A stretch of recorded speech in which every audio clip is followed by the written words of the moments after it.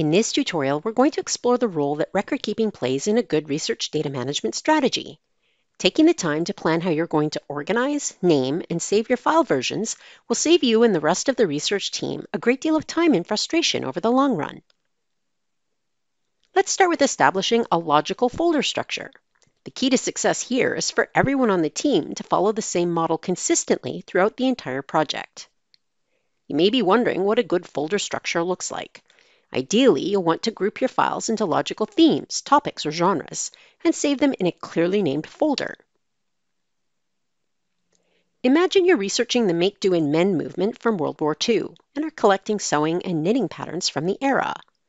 You could try to keep these organized by creating ultra-precise file names for them. For example, pattern underscore sewing underscore victory underscore suits underscore women underscore 1942. However, Imagine what your documents folder would look like once you've accumulated hundreds or more elaborately named files and how difficult it would be to find something specific a few days or weeks later, especially if you can't quite remember how you named it or if your file naming system isn't as consistent as it should be. It'd be far better to create a separate folder for knitting and for sewing. You could then create subfolders within these if and when it makes sense to do so. For example, the Sewing Patterns folder could have a subfolder for women, which could potentially have subfolders for different clothing types, such as suits, dresses, accessories, etc., if you have multiple files for each type. The complexity of your subfolder system should be driven by the number and variety of files you've created. If you only have a few different clothing types for your sewing patterns women folder, then there's no need to create further subfolders. The aim is to make it as easy as possible to locate the exact file you're looking for days, weeks, or even years later. Once your folder structure is established, it becomes a lot easier to adopt a straightforward file naming system.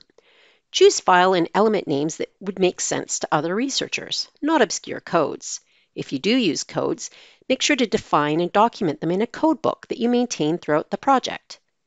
Next, establish a standard order of elements that every file name will follow, such as pattern name underscore year, and then save your files in the appropriate folder.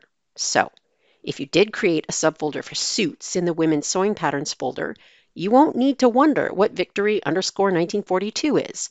It's instantly obvious what sort of pattern it is by virtue of where you saved it. Clear and simple. Now, there's one last but important practice you should adopt when it comes to saving your files. Make sure you create and save a new version every time you revise or edit your data.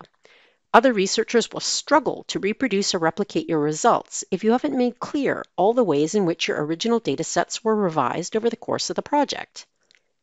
If you don't, you could be subject to accusations of having secretly manipulated your data to support false research findings.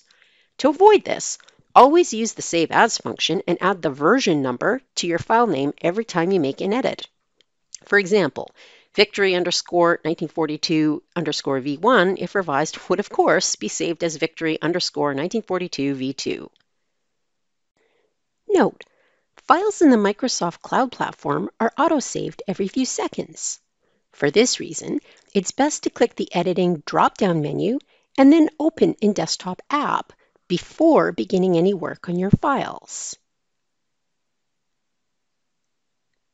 The desktop versions of Word, Excel, and PowerPoint do not save your edits until you click Save or Save As, making it much easier to control and document your version history.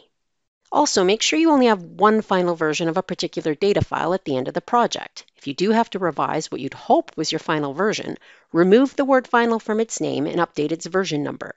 Only attach the word final to your last version, and even then only once you've finished with all your revisions. Make sure to document your folder, file structure, and naming strategy in a README file. You should also include a version history log that explains what was changed with each new version that was created, who made the change, and why it was necessary. All of this documentation should be included with your datasets when you archive and or make your data publicly available at the end of the project. In this tutorial, we've learned about a few simple record-keeping practices that will go a long way to ensuring that your research data will be easily findable, accessible, and reusable, both by yourself and others, long after the end of the project. In the next tutorial, we'll focus on best practices in data security, including data encryption, sharing data securely with colleagues, and protecting private and sensitive data.